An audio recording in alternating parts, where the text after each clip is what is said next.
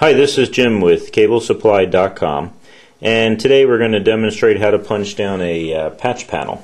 And what we have here is we have the tools that are necessary to, uh, to punch down and to, uh, to uh, dress a uh, patch panel.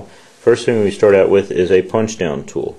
This is a punch down tool. It has different uh, different adjustments for its strength as far as impact and it comes with a 110 blade or you can buy them with a 110 blade and you need the cutting side of the 110 blade. So this is a punch down tool and you if you're interested in seeing more details on a punch down tool uh, take a look at our other videos that are on the net and you can see how to, to use this tool.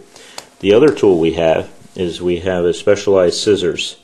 Um, these scissors are used uh, uh, in particular for uh, the cabling industry. And as you can see right here there's there, there are stripper uh, grooves in there so you can strip the casing off of the individual wires and therefore the different size uh, gauge wires.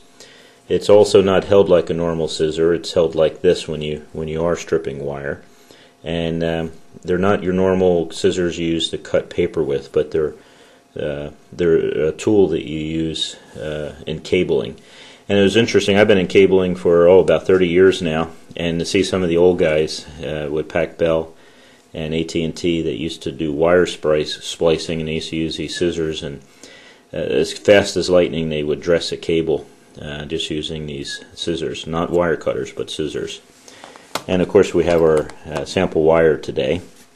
And here's our 24 port um, Cat 5e uh, patch panel. We sell these patch panels and on the back you have your uh, 66 uh, I'm sorry your 110 type punch downs. See what they look like. And uh, this is your standard type of punch down the 110 punch down. Has a little color code strip there. So if you don't know the color code you can follow the strip and it will tell you.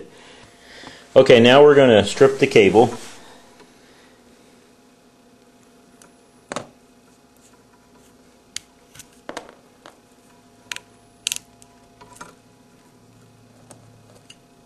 we're going to cut off the uh, string that's used to take off the outer cover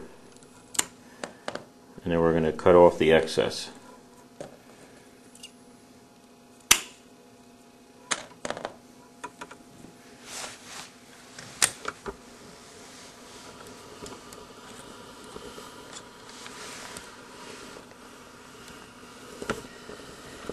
Now when you're patching, when you're cutting, uh, punching down a uh, cable, what you want to do is you want to keep the twist as much as possible uh, all the way up to the punch down.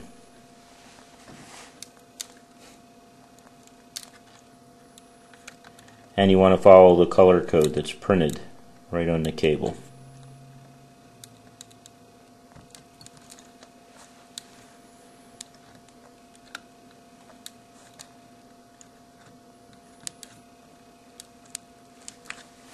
Let me show you before we punch down what it looks like. This is before you punch down and of course you're going to have all the cables going in there so that, that's the way you want it and notice that the twists are kept as tight as possible uh, up into the punch down. Now I'm going to punch it down but as I punch it down it's going to cut the excess off. You can see the excess uh, being cut by the cutter.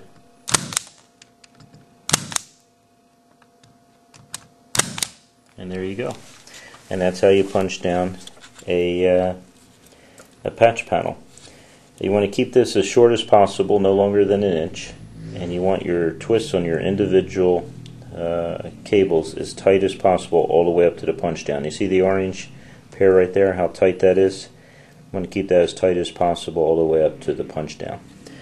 So um, what you also want to do is when this is all done this is up on a uh, on your uh, data rack, bolted to the data rack. When you're all done, you want to tie all the cables together using tie wraps. You know, of course, they will go all along here, uh, distributed to each area there. Um, so you want to tighten them down as, as tight as you can with tie wraps or without indenting wire. So you don't want to overdo it. But once you do all that, then you want to test your cables using a, uh, a cable certified uh, a cable tester that can certify the cables. Uh, I hope this answered your questions concerning uh, how to punch down a uh, patch panel. And um, don't hesitate to uh, email if you have any questions, or if, or even to visit our website if you have any questions. And the website is www.cablesupply.com. Thank you.